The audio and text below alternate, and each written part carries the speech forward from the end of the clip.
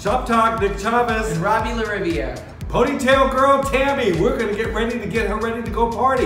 What you wanna do is use your ear as a guideline. We've done half of it for you, there's two sections. You take this ponytail just like this. You go ahead and get your rubber band and you go ahead and twist that. Not rubber band, use your elastic band because you don't want to rip the hair out. Mm -hmm. After you get that there, you shred it just like that. See what you've done? You build body.